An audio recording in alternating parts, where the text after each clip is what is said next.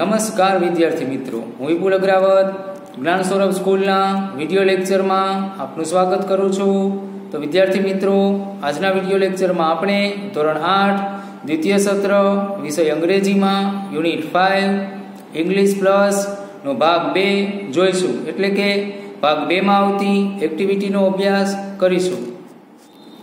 તો મિત્રો, હવે આપણે જોઈ લઈએ એક્ટિવિટી ત્રણ એ.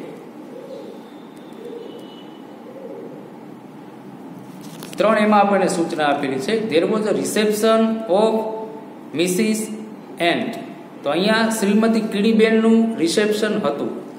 Some of the guest didn't come for the ceremony હવે અમુક લોકો, અમુક મહેમાનો છે એ રિસેપ્શનમાં આવ્યા ન હતા.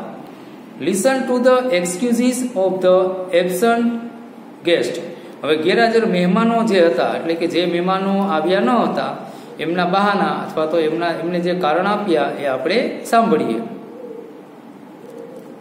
વાય ડીડન્ટ યુ કમ તમે શા માટે ન આવ્યા? તો mister donkey mister donkey why didn't you come હવે શ્રીમતી કીડીબેન પૂછે છે કે મિસ્ટર ડોંકી તમે શા માટે ન આવ્યા? ડોંકી જવાબ આપે છે Mrs Ant Mrs Ant cause sick was my mom Shrimati કીડી મારા મમ્મી બીમાર હતા તેથી હું ન આવ્યો Miss Sheep Miss Sheep why didn't you come હવે અહીંયા મિસ સીપ એટલે કુમારી ઘેટી. બરાબર? આપણે ઘેટા બકરા હોય ને એની વાત છે. તો મિસ સીપને પૂછે છે કે તમે શા માટે ન આવ્યા? તો એ જવાબ આપે છે કે Mrs Ant Mrs Ant Shrimati કીડી શ્રીમતી કીડી because your messenger was dumb કારણ કે તમારો જે મેસેન્જર તમે મોકલો તો સંદેશાવાહક, એ મૂંગો હતો. એ કાંઈ બોલ્યો નહીં. ત્યારબાદ Miss Goat Miss Goat why didn't you come એટલે અહીંયા બકરીની વાત છે. એટલે બકરીને પૂછે છે કે કુમારી બકરી બેન તમે શા માટે ન આવ્યા? તો એ જવાબ આપે છે કે Mrs Ant Mrs Ant cause the river I couldn't jump નદીને કારણે એવું બહાનું આપે છે કે નદીને કારણે આવી આઈ કુડન્ટ જમ્પ હું કૂદકો મારી શકી નહીં. તો મિત્રો, આ હતી વિગત એક્ટિવિટી ત્રણ એની હવે ત્યારબાદ આપણે જોઈ લઈએ એક્ટિવિટી ત્રણ બી તો એક્ટિવિટી ત્રણ બીમાં આપણને સૂચના આપેલી છે, જોઈ લઈએ.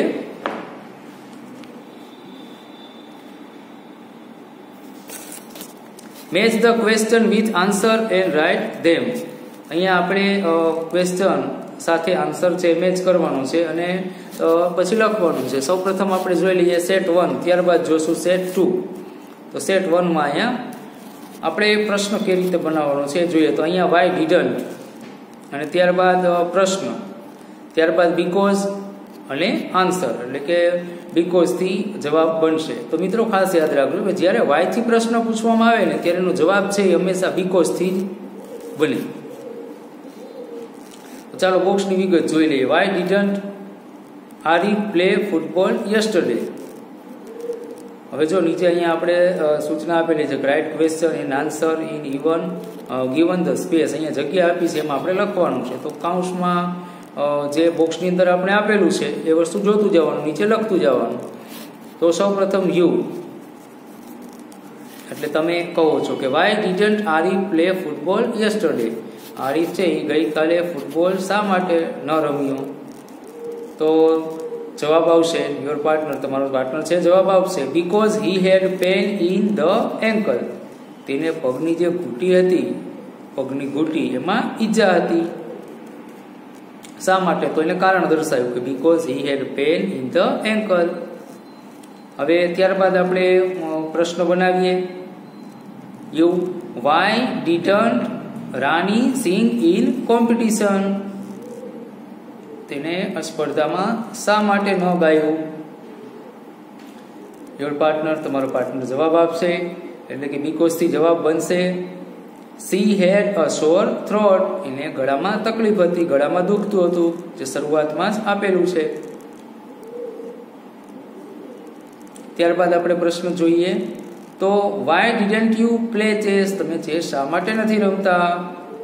યોર પાર્ટનર આન્સર આપશે because I do not know how to play તો અહીંયા આપણે આન્સરના ખાનામાં આપેલું છે નોટ નો તો વ્યવસ્થિત રીતે વાક્ય આ રીતે થશે. કે because I do not know how to play કેવી રીતે રમવું એ મને ખબર નથી. ત્યારબાદ આપણે જોઈએ તો યુ વાળું વાક્ય, તો why didn't you buy a bicycle તમે સાયકલ શા માટે નથી ખરીદતા?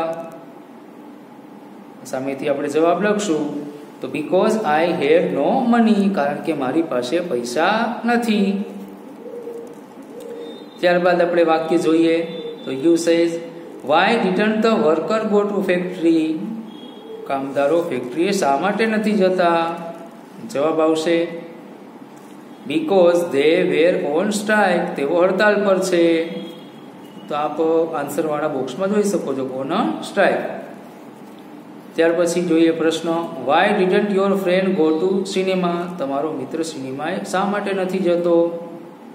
આન્સર આવશે your પાર્ટનરમાં because he did not get ticket કારણ કે તેને ટિકિટ મળી નહીં. ત્યારબાદ લાસ્ટ ક્વેશ્ચન જોઈએ. Why didn't Neha buy the Arabian Nights નેહાએ Arabian Nights નામનું પુસ્તક શા માટે ખરીદ્યું? જવાબ યોર પાર્ટનરમાં જોઈશું આપણે. Because she had already read the book તેણે એટલા માટે ન ખરીદ્યું, કારણ કે તેણે એ બુક વાંચી લીધી હતી. પ્રશ્ન ફરીથી જોઈએ.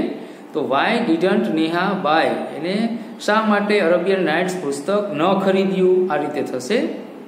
અને જવાબમાં આ રીતે આવશે. Because she had already read the book કારણ કે તેને ઓલરેડી એ બુક વાંચી લીધી છે. તો મિત્રો, અહીંયા આપણે આ સેટ વનની વિગત જોઈ. એમાં યુ અને યોર પાર્ટનર એટલે કે તમે વાયથી પ્રશ્ન પૂછ્યા અને તમારા પાર્ટનરે તેના જવાબ આપ્યા. બરાબર? હવે સેટ ટુમાં આપણે જોઈએ તો સેટ ટુમાં એ રીતે છે. કે તમારો પાર્ટનર છે એ તમને પ્રશ્ન પૂછશે અને તમારે જવાબ આપવાના. એટલે કે યુ યોર પાર્ટનર અને યુ એવી રીતે થશે. તો સેટ ટુમાં સૌપ્રથમ ક્વેશ્ચન આન્સર એની વિગત છે. તો ત્યાં આ જ રીતે છે. સૌપ્રથમ વાય ત્યારબાદ પ્રશ્નો, પછી બીકોઝ અને આન્સર માટે જે આપેલા છે એ અધૂરા વાક્યો. અને આપણે વ્યવસ્થિત રીતે એના જવાબ બનાવીએ. તો ચાલો વાક્ય જોઈએ. યોર પાર્ટનર સેઝ તમારો જે પાર્ટનર છે એ પૂછે છે કે why were the children happy બાળકો, અહીંયા જો જે સૌપ્રથમ આપણે એક્ઝામ્પલ જોઈ લઈએ, તો બાળકો છે એ શું કામ ખુશ હતા? તમે શું જવાબ આપશો? Because they had vacation in summer તેમને ઉનાળામાં વેકેશન હતું. તો આપ આન્સરવાળા બોક્સમાં જોઈ શકો છો કે વેકેશન ઇન સમર તો આપણે આ રીતે બનાવશું. Because they had vacation in summer કારણ કે તેને ઉનાળામાં વેકેશન હતું. ત્યારબાદ યોર પાર્ટનર સેઝ કે why is Sam late today Sam આજે શા માટે મોડો છે? તમે જવાબ આપશો because is held up in traffic તે ટ્રાફિકમાં અટવાઈ ગયો હતો. તો આન્સરવાળા બોક્સમાં બીજું જ આપ જોઈ શકો છો. ત્યારબાદ તમારો પાર્ટનર પૂછશે કે why could Sanskrit Sanskrit not attend conference Sanskrit છે, એને કોન્ફરન્સ શું કામ એટેન્ડ ન કરી? તમે જવાબ આપશો because he had to attend business meeting કારણ કે તેને બિઝનેસ મીટિંગ છે એ એટેન્ડ કરવાની હતી. ત્યારબાદ your partner says why was Sonal unhappy Sonal દુઃખી શા માટે હતી? તમે જવાબ આપશો because she miss her favourite TV show કારણ કે તેને તેનો જે ફેવરિટ ટીવી શો હતો એ ચૂકાઈ ગયો હતો, જોવાનો રહી ગયો હતો. ત્યારબાદ your partner says why were you in search of him તમે તેને શા માટે શોધી રહ્યા હતા? તમે જવાબ આપશો because he was the real thief કારણ કે તે સાચો ચોર હતો. ત્યારબાદ લાસ્ટ જોઈએ આપણે why has Anita gone to Vapi? Anita Vapi શા માટે ગઈ? એટલે કે, શા માટે ગઈ છે? તમે જવાબ આપશો બીકોઝ કારણ કે she wants to meet her uncle કારણ કે તે તેના કાકાને મળવા ઈચ્છતી હતી, માટે તે વાપી ગઈ. આ રીતે પણ થઈ શકે કે because she wants to meet her uncle કારણ કે તે તેના કાકાને મળવા ઈચ્છે છે, માટે વાપી ગઈ છે. તો વિદ્યાર્થી મિત્રો, અહીંયા આપણે એક્ટિવિટી ત્રણ બી પૂર્ણ થાય છે. ત્યારબાદ જોઈ લઈએ આપણે એક્ટિવિટી ચાર એ તો એક્ટિવિટી ચાર એમાં આપણને સૂચના આપેલી છે કે Piyush is going from Ahmedabad to Mumbai. Piyush છે, એ મુંબઈથી અમદાવાદ જઈ રહ્યો છે. His grandfather tells him what do and what not to do તેના દાદાજી તેને કહે છે શું કરવું અને શું ન કરવું એ વિશે વિગત કહે છે. તો ડુ એટલે કે શું કરવું અને ડુ નોટ એટલે કે શું ન કરવું. તો ચાલો એ વિગત આપણે જોઈએ અને ધ્યાનપૂર્વક સમજીએ. રીચ સ્ટેશન સેફલી ત્યારબાદ બીજું cross the road by using traffic light ત્યારબાદ ત્રીજું purchase ticket from the ticket window ત્યારબાદ stand stand in a queue એટલે કે હારમાં ઊભું રહેવું. ત્યારબાદ યુઝ ધ ટાઈમ ટેબલ ત્યારબાદ છઠ્ઠું જોઈએ. Make an inquiry for the train સાતમું keep ticket in proper place ticket યોગ્ય જગ્યાએ રાખવી. ત્યારબાદ હવે શું ન કરવું? Do not to push while passenger came out passenger આવે ત્યારે ધક્કામુક્કી ન કરવી. અથવા કોઈને ધક્કો મારવો નહીં.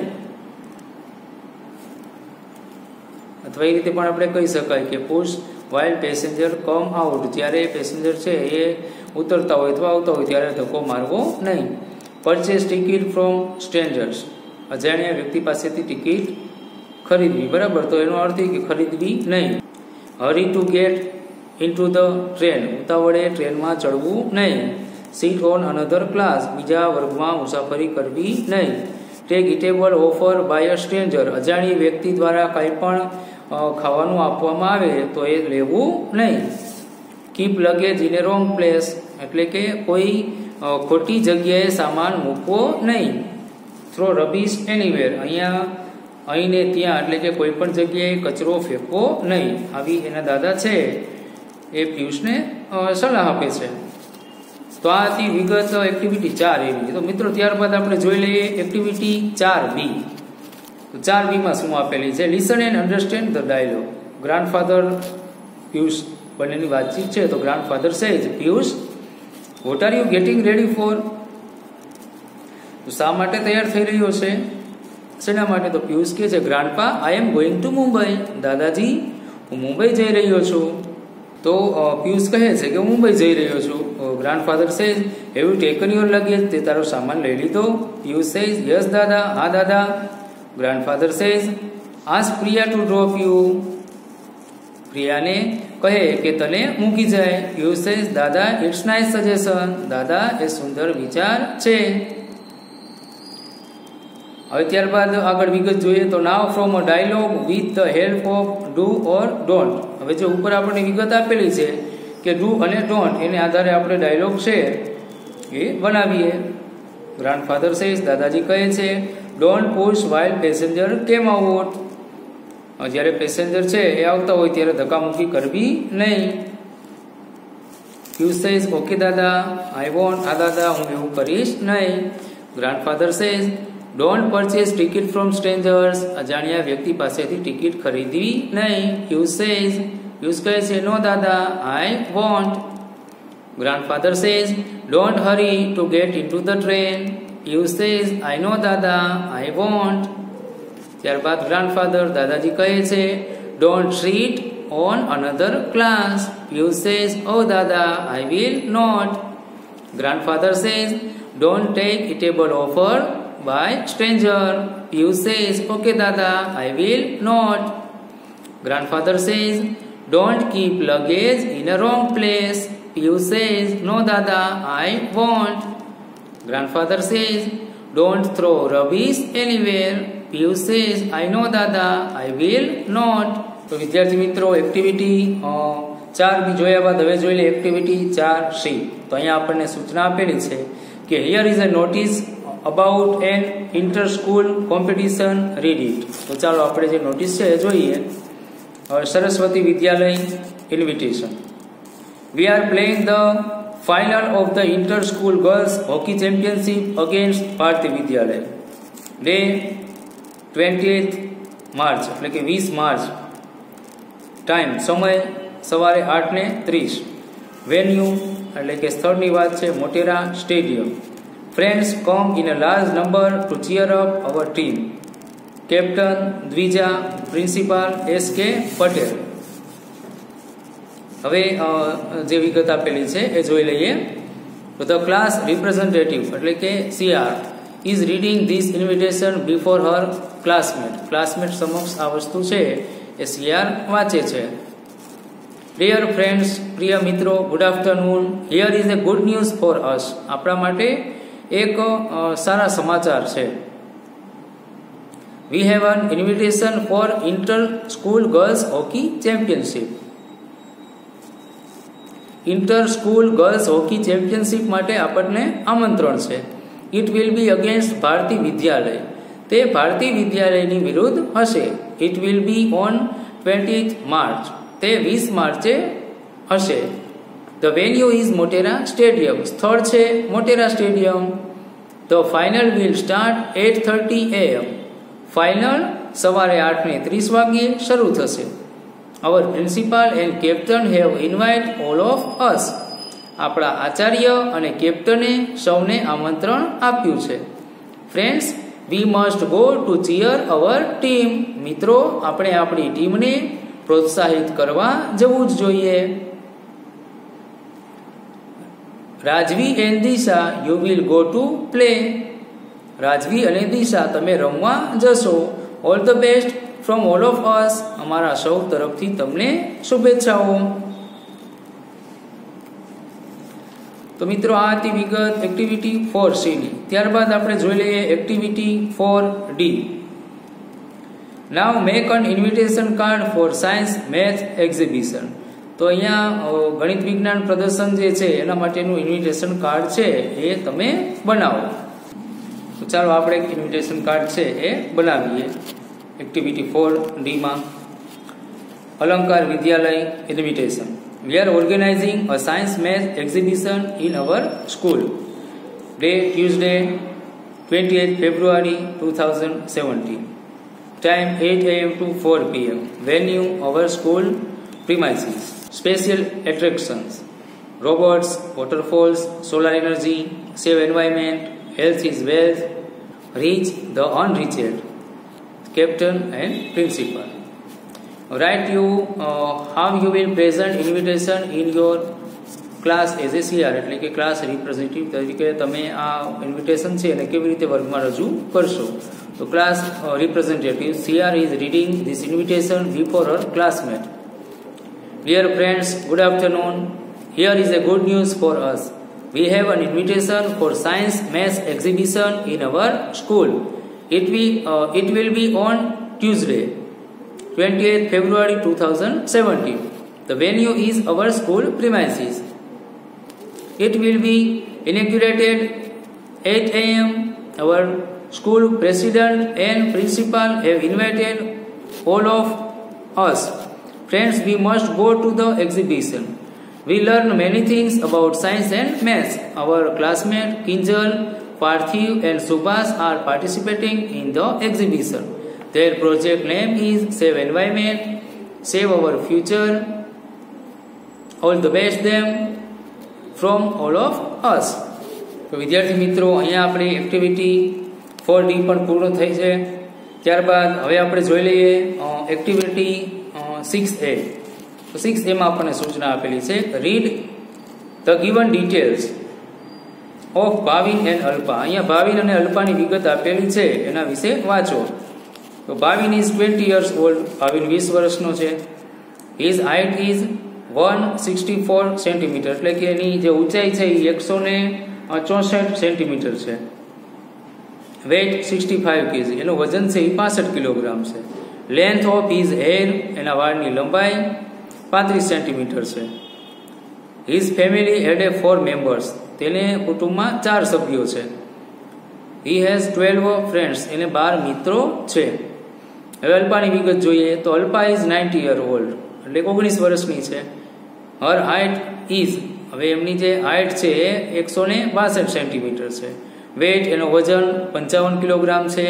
લેન્થ ઓફ હેર એના વાળની લંબાઈ પાસઠ સેન્ટીમીટર છે. Her family has a five members એને પાંચ ફેમિલી મેમ્બર છે. સી હેઝ ટ્વેલ્વ ફ્રેન્ડ્સ તેને બાર મિત્રો છે. નાવ કમ્પેર બોથ હવે ચાલો આપણે બંનેની તુલના કરીએ. તો વાક્ય બનાવીએ. પેલું વાક્ય જોઈએ. Bhavin is older than Alpa. Bhavin Alpa કરતા મોટો છે. કારણ કે ભાવિનની ઉંમર વીસ વર્ષની છે અલ્પાની ઓગણીસની. તો ભાવિન છે એનાથી મોટો થયો.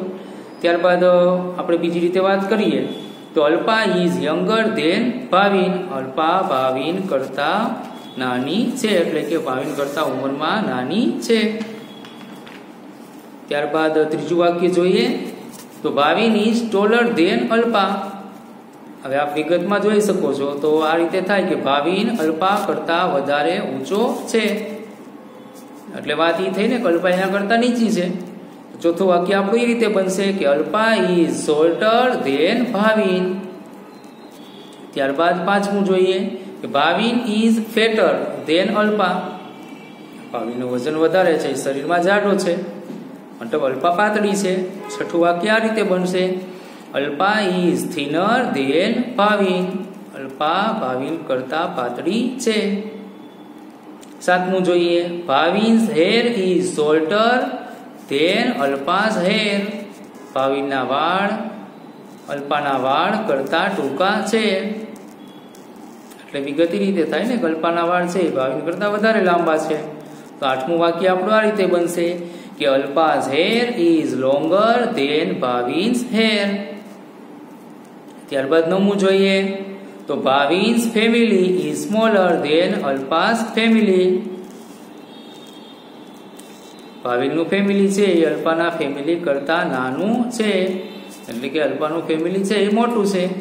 તો દસમું વાક્ય આપણું એ રીતે બનશે કે Alpa's family is bigger than Bhavin's family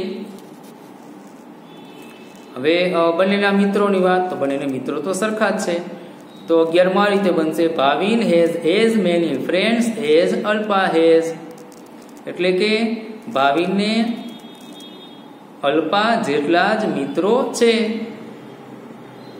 અને બીજી રીતે પણ થાય કે Alpa has as many friends as Bhavin, has જેટલા જ મિત્રો છે. અથવા તો એક વાક્ય આ રીતે પણ થાય કે Bhavin and Alpa have similar friends Bhavin અને અલ્પાને સરખા મિત્રો છે. તો વિદ્યાર્થી મિત્રો, અહીંયા આપણે યુનિટ ફાઇવ ઇંગ્લિશ પ્લસ પૂર્ણ થાય છે. આવજો.